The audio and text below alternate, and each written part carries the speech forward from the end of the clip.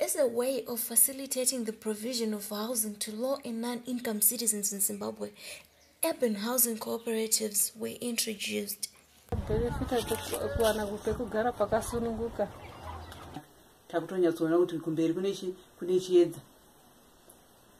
nokuti iko zvine masuwa dzimwe nzvimbo ato atoveko chimwe chinhu chinopa kuti zvinhu zvisanyatsofamba zvakanaka inhau yekuti vanhu tinenge tisinganyatsobhadhara mari zvakakwana dai tese tichibhadhara mari dzedu in time zvinotiitira zvakanaka Housing cooperatives in urban areas help citizens to save and enable them to raise money to construct their own houses with the money they might have used instead to pay for their rentals.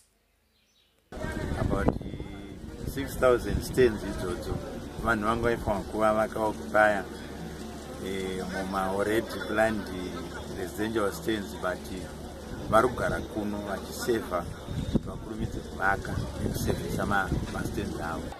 Timari yataifanwa kubhadhara marenzi ndi yatakubhadhara cooperative Even though development in places occupied by housing cooperatives is slow, these citizens with low to none income help each other in building houses as a cooperative, thus enabling more people to afford accommodation at low costs.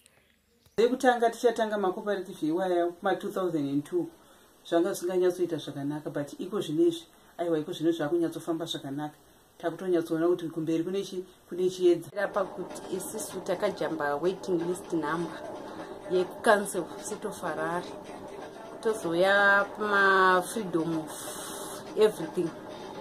Inoita paseni pakuenda zvaunoda. Plus development develop faster nekuti mune muchidevelopa as a group. Muchipanana maideas. Kuti muda kuita masuwa munobatana mobva mangoita masuwa enyu so far takatoaita tatori paadvance stage.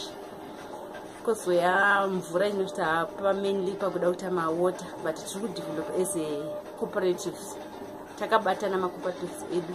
Saka ndo maadvantages mamwe atinawo kumacooperatives